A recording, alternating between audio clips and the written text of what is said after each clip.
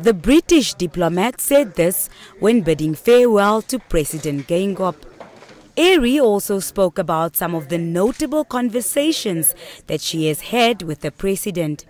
You were, as you always are, Excellency, a, a challenging person to meet. You run intellectual rings round, which I love, by the way, and always have done.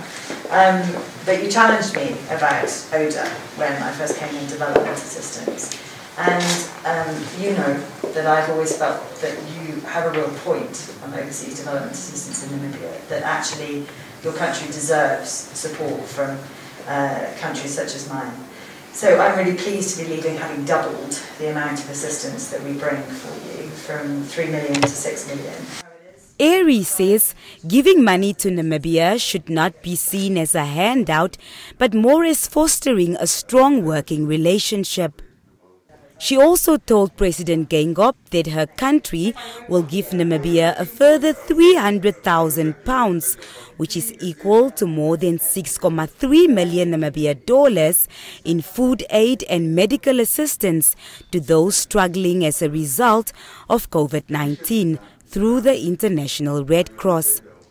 On his part, Dr. Geingob says the government has been experiencing financial difficulties over the past years due to a drop in commodity prices, the drought, and the outbreak of the COVID 19 pandemic.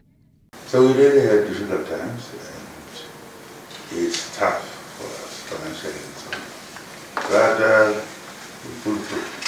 Airey, who has worked in Nigeria and Sierra Leone before Namibia, will be the next British High Commissioner to Uganda.